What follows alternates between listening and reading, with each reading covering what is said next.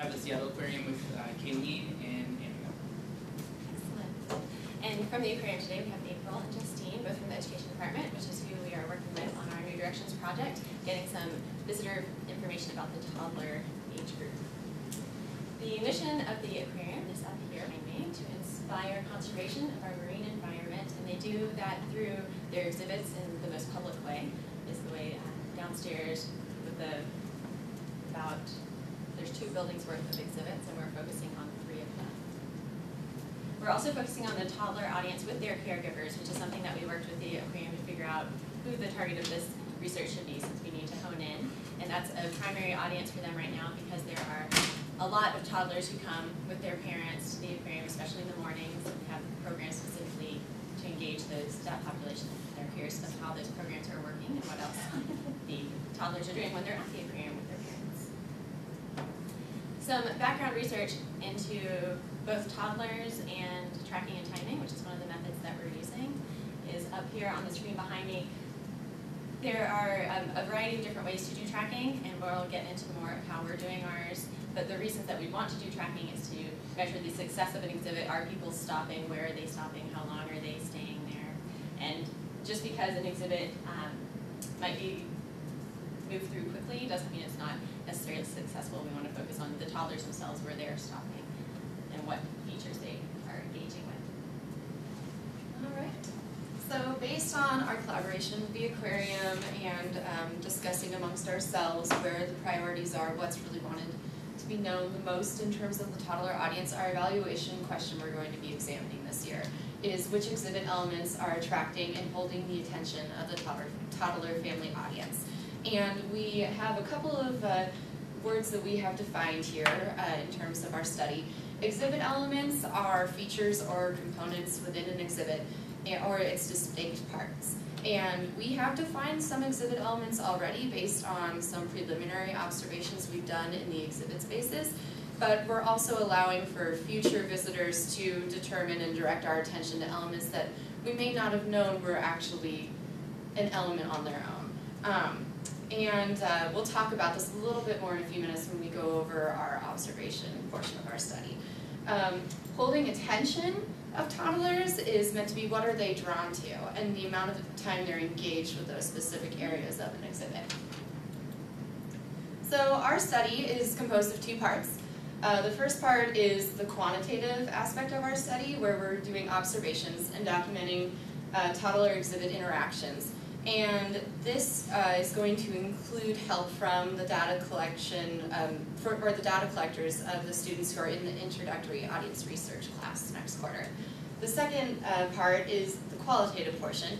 We're doing interviews and we're recording caregiver exhibit evaluations, what the caregivers think their toddlers are attracted to, what they'd like to see for their toddler in aquarium exhibit spaces. And this section is going to be solely done by Kayleen and myself. Um, and we are going to be having not only interview questions, but a picture facilitated exercise with them that I'll explain to you in a moment. So our overall timeline, all of us pretty much have the same timeline here. In the fall, we are going through our development phase. We established our evaluation question, collaborated with the aquarium on where we'd like the project to go throughout the course of the year.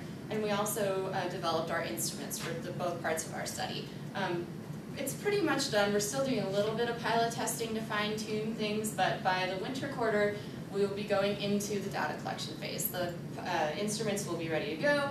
We'll have the training of our um, assistants in the audience research introductory class with us. And once all the data has been collected in the spring, um, we'll be doing the analysis and writing up the conclusions and the final product.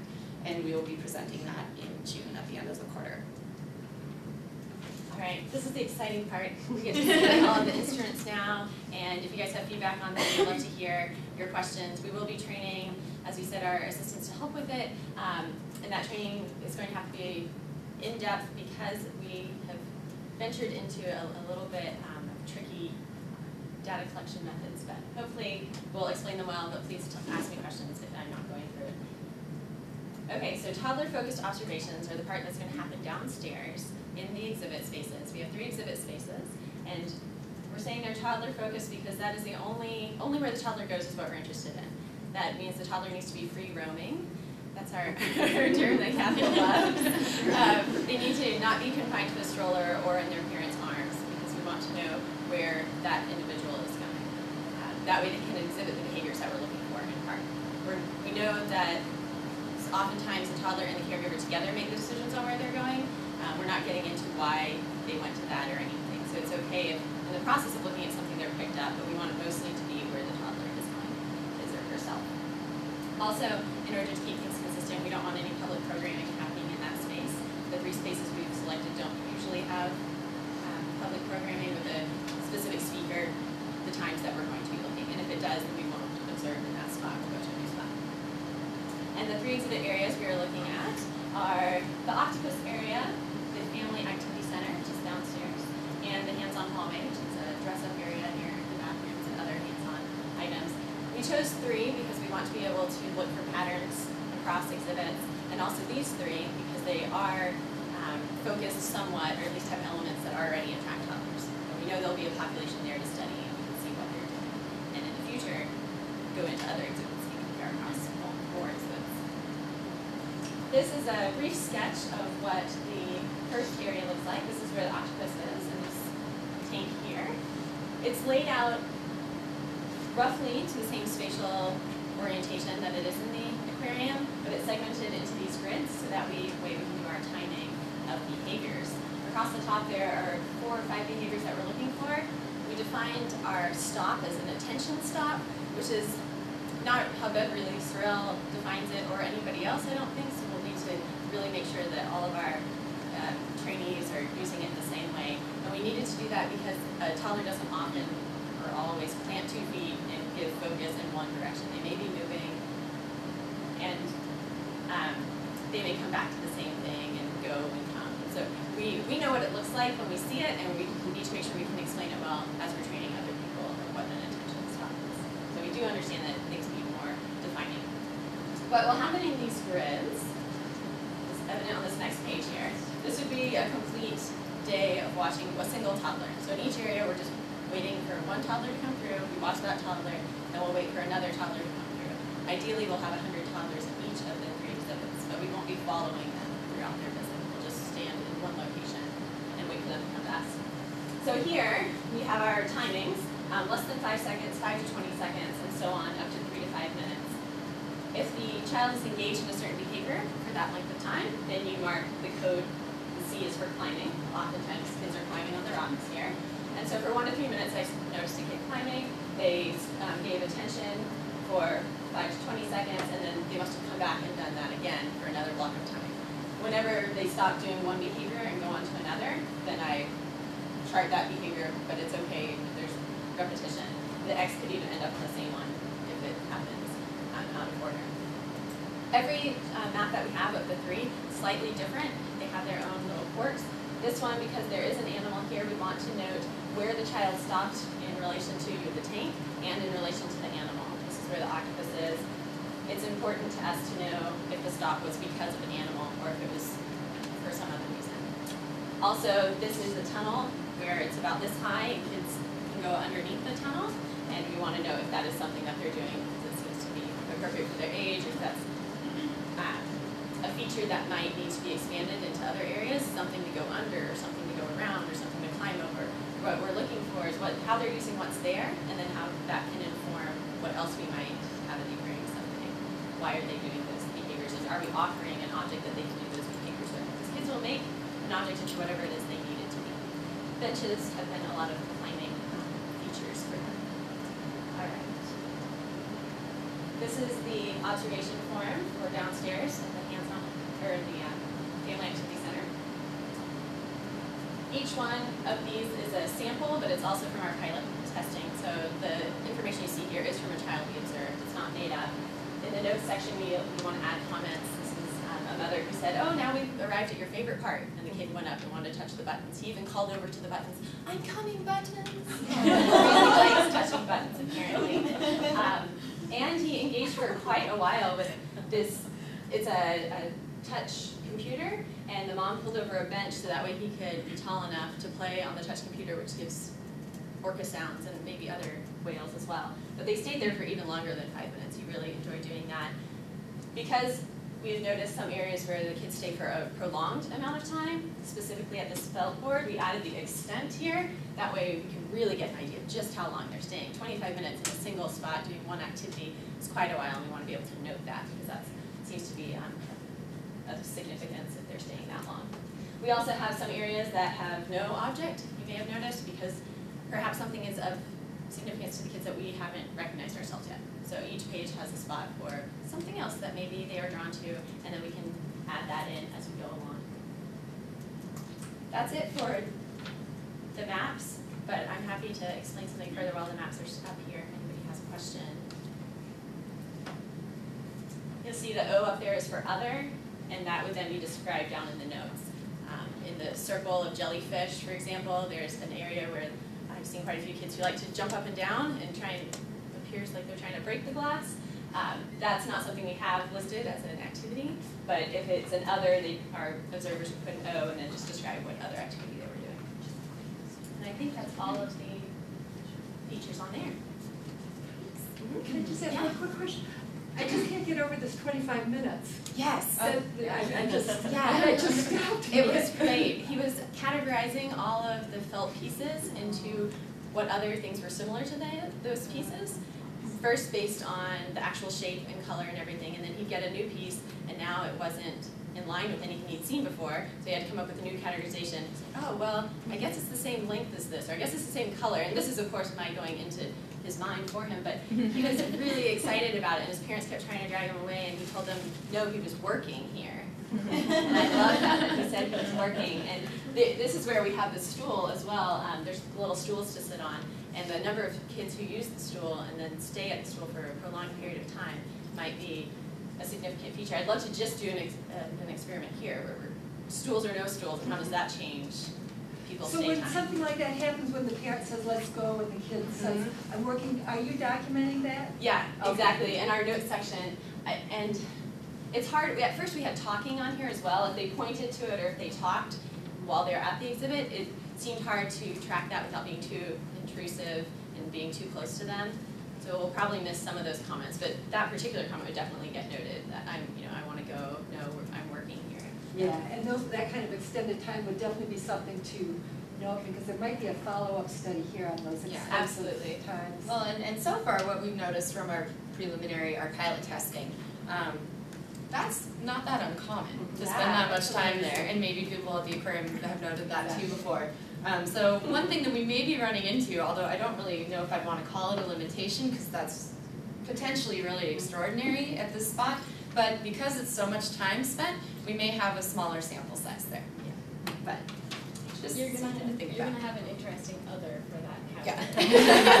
Which pounding. Pounding. Because kids pound on it because it sounds like a drum, it's really loud, Yeah. like a drum. And so you'll be standing somewhere else in the building and you'll just hear this, oh, oh, oh. Is that, it's the felt. Yes, Julie? We have a, um, a gravity wall at the sand center, you know, where you can put the slats in and roll the ball down. Yeah. And kids will stay at that for half an hour. It's, there's just a couple of activities That that are, there's that. just so much focus that they can put into it, that they really will stay Absolutely. hugely longer than at other. Which I love, and I wonder if there are some things that would attract the parent to stay longer, that there wouldn't be so much dragging away from that, if there was not just a kids area, it included something for the parents to be doing at the same time. Would be good.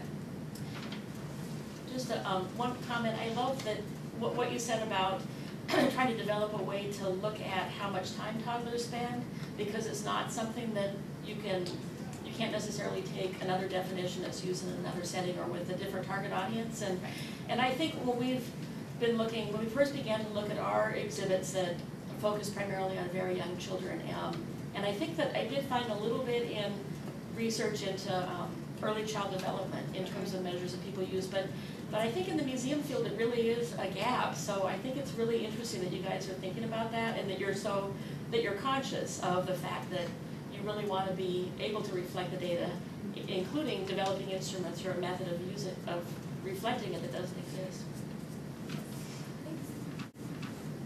So, um, I'm gonna move on to the uh, qualitative portion, of the interviews, but we can definitely go back to the observations at the end if anyone has any more questions or comments. Um, so for the second part, the part that Kayleen and I will be doing um, solely is the qualitative interviews, and we're going to be conducting these at toddler time, uh, the caregivers who bring their children to this program. Um, and it's going to be coupled with a, a card sorting task, a visual exercise. And um, Toddler Time, for those of you who are not familiar with it, is a monthly morning uh, program for toddlers in the upstairs classrooms at the exhibit, or the aquarium, excuse me. Um, there's a lot of different stations for them to go to. It rotates, from what I understand, lots of art projects, books. You can touch certain program animals that are there. Um, it's a really engaging space, and there's a lot of repeat uh, visitors who go specifically for toddler time. Um, because this group of people is a part of our intended audience, the focus of the study, and they, they have had a lot of experience with the aquarium in general already, we really wanted to get to this group specifically for the qualitative portion of our study. Um, so it is a homogeneous sample, um, but we really think that their quality of answers are going to provide a lot of additional insight in, to supplement our observations. So um, once the adult enters toddler time with their child or the, the child they're taking care of, um, we will approach them, but we may wait until they have time to settle down with the toddler. They get the toddler gets engaged in an activity, so that way we'll have a higher response rate and we'll also get better quality of responses. If the toddler is running around still, it's kind of hard to have them really sit down and then spend a couple of minutes with us. So we're hoping to get about 40 interviews if possible. Um, so then that way we'll be able to see strong trends and patterns that are showing up in responses from people. Uh, although that may be smaller just because there are a lot of repeat visitors and we don't want to uh, interview the same person twice to skew our data. So um, these are a couple of the questions that we're going to be asking, and it's very toddler focused. What does the aquarium provide for a toddler that attracts you to visit?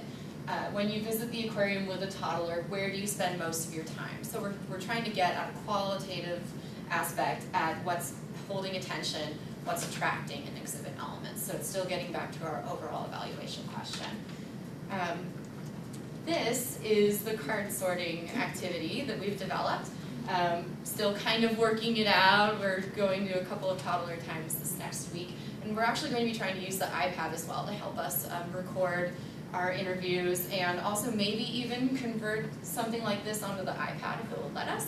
Um, Kayleen went around and took some awesome pictures of different elements that um, tend to show up around the aquarium, photo opportunities, uh, the felt board that is so popular already, and uh, different types of signage, buttons, things that, that we've already defined as exhibit elements that, that toddlers have already seemed to be attracted to in our pilot testing.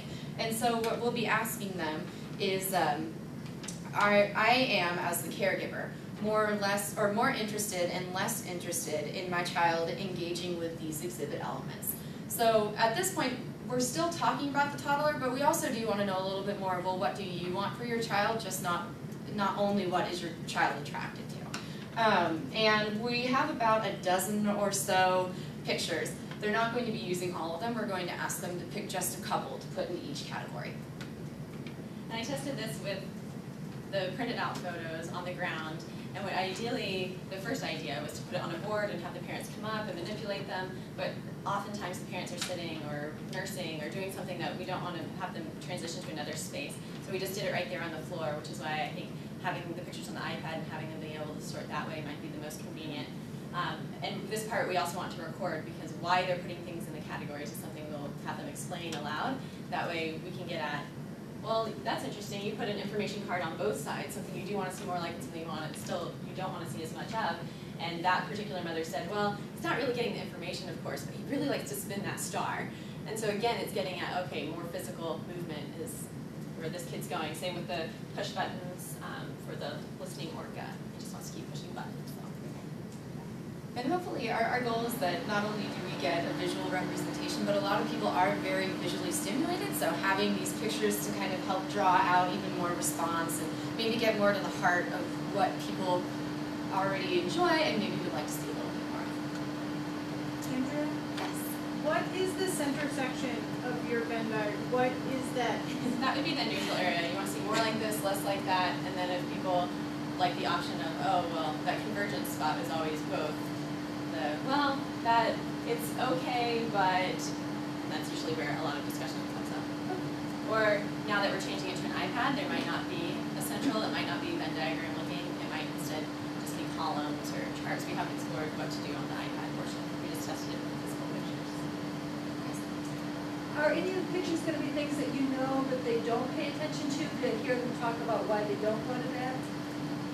Well, we, this is one example of things they don't use, as is the bookcase downstairs.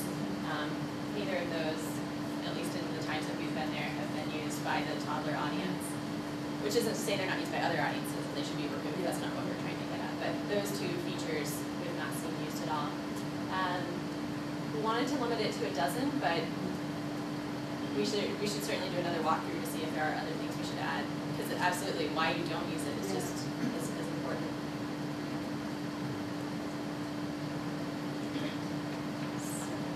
And why this is all important for the aquarium, besides that they are interested in audience research and they want to learn more about the toddlers, is to provide a baseline for when changes occur, which have happened in the past, and the education department would like some way to support their case of why these things are good, or why they need more like this, or where money should be funneled um, to improve the felt board. People are using it a whole lot. Well, if we had two felt boards, that would double the number of people who can use this thing, which is really interactive. Minor changes like having a stool. If we have a stool here and people use it so much, perhaps, and those things aren't won't be definitive from what we study, but might give a, a an idea of where to head, and then be able to test further. It's always good to have the baseline and be able to compare across exhibits, and then when you change something, you can use the same study again and see if it's making a positive difference or not. Um, along with changing exhibits, it might influence toddler time itself, or um, probably a million other things that the aquarium itself can think of. We've already talked to people who want to take any information we have, especially some of the quotes, and use them for publicity or for talking to the CEO about why this audience is important. I think it has a, a lot of usage for them. Happy to come. Any questions on anything? Yes, Justin? Do you know what days you're gonna be doing observations in? Are you gonna try to hit every day or weekdays? For the toddler time stuff, will be Mondays and Tuesdays for the the observations downstairs, we want it to be times that we know there'll be a lot of toddlers, we don't wanna send out our observers and have them not get very many people. Um, which again means Mondays and Tuesdays mornings, we know there are a lot of people that come through, Saturday mornings, we know there are a lot. We are probably not going to do afternoons because of nap times and transitioning to home. So mostly mornings, and if you guys have more ideas of days, that would be great. Do you think we should spread out or just focus on a couple? That's what we're thinking right now, Mondays, Tuesdays, and perhaps Saturdays. Be impossible to track, but um, I have a nephew, family has a membership, to- an annual membership they renew every year because there's a toddler.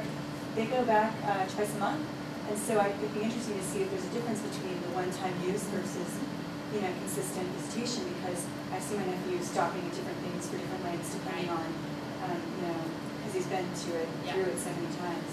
So I don't know if there's any way Right. that. We will upstairs be talking to the caregivers and say how often they come, are they members, those sorts of things. The people downstairs, we won't be talking to them, but you're absolutely right. Up, when we speak to the caregivers, they do say, well, it has changed over the last few months as he's developed into this type of stage of his life.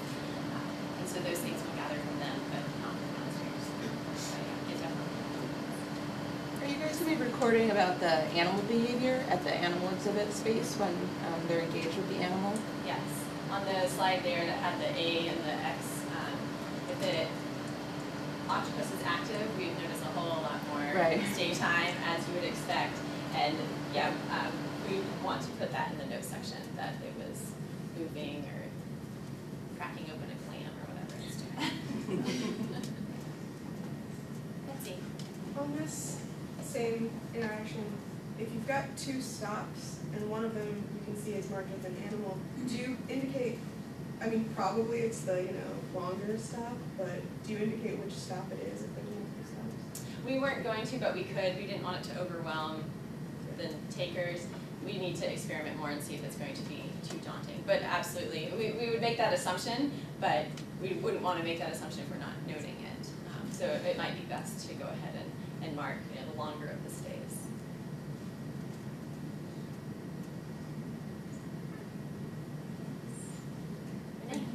Um, I'm, I'm interested in what you said about how to caregivers for your interviews, and I wonder if you've thought at all about doing something to cue them as they're entering that space, and then, um, doing a, a later sort of follow-up intercept of, do you, now that your child is settled, did you get this card, or did someone talk to you, or, you know, to kind of,